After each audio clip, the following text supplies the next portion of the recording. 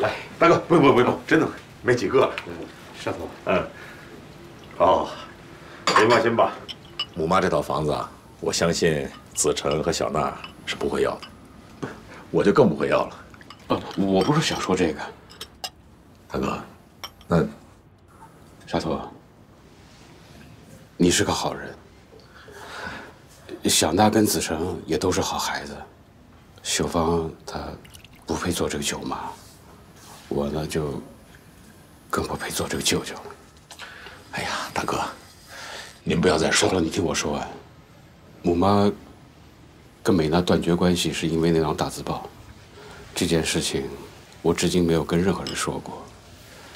写那张大字报的人不是美娜，是我。当时应该去内蒙古插队的是我。美娜觉得我是田家唯一的男孩，又不忍心让我们的父母伤心，她就连夜把大字报的名字改过来了。最终是替我远走他乡。后来，美娜去了内蒙古。我说出来也于事无补。后来爸爸去世了，我就觉得这件事情就更不能说出实情了。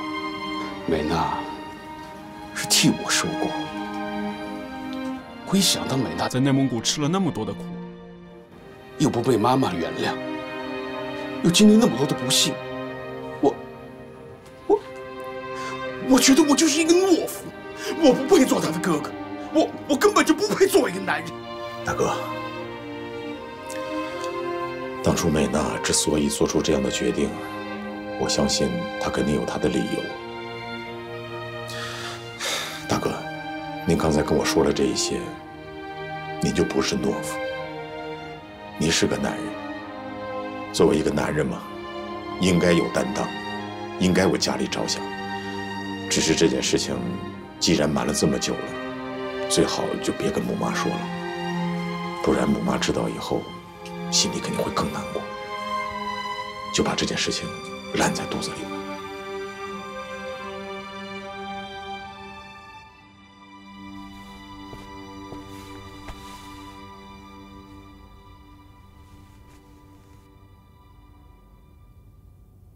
沙土好像不会吃官司了。子晨和冯松呢，还在继续搞那个网站。你放心。时间久了，小娜和子成一定会回来的。你说的这些，都是文静告诉你的吧？难道只有走文静这条路，我才能跟他们有一点点关系？如果你希望文静做些什么，我可以去找她。不过，文静和子成的关系。你最好事先想清楚。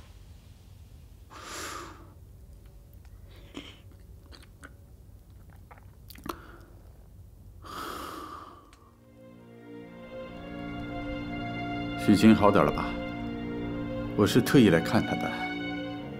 另外，我已经替他交了三个月的费用，你们随时可以搬回去。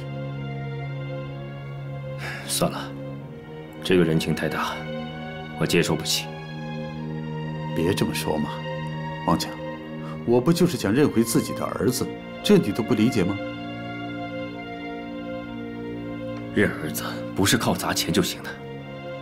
你看人家沙陀，没钱没势，可两个孩子就死心塌地的跟着他，这叫以德服人。看来你也被他折服了。好。我们不说沙陀，你还是让许琴搬回疗养院吧。上次是我的不对，你这次给我一个机会，让我的良心得到一点安宁，可以吗？陆远山，我早就不相信你会良心不安的。你是个成功人士，大老板，我只是个小小老百姓，你不会无缘无故对我这个小老百姓发善心，这个我最明白。或者以前，我就是不知道，也会先接受再说。但是现在不一样，我得听沙头和子成的。你回去吧，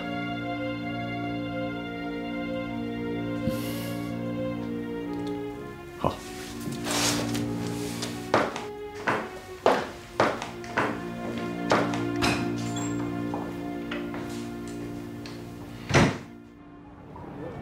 带子晨回家吃顿饭吧。为什么？以什么身份？是以我男朋友身份呀，还是以陆远山儿子的身份？你想以什么身份？我想的不是你要的。你爸爸现在已经意识到自己犯的错误了，也在忏悔了。我跟他结婚这么多年，我从来都没看他这么难过过。你就不能帮帮你爸爸吗？那是两回事儿。就算我去帮他，我爸原来做那事儿，实在是太让人伤心了。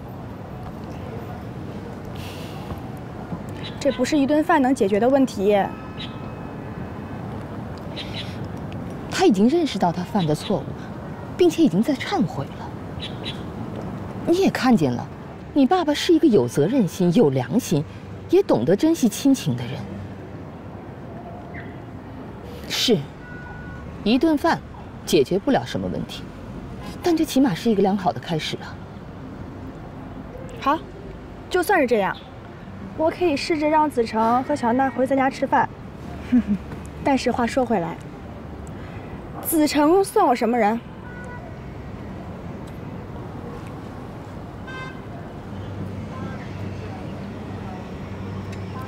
只要你能把他们俩请回家，妈妈可以支持你跟子成的交往，但是这件事情必须暂时瞒着爸爸。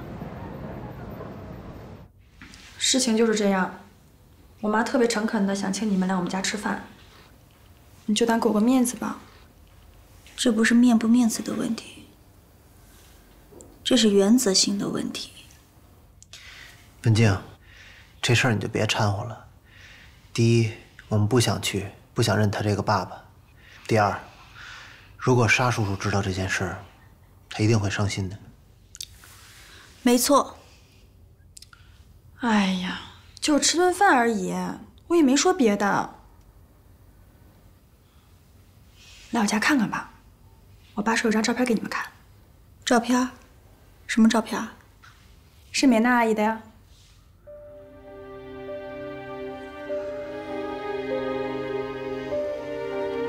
这么多年了，从来没看她这么痛苦过。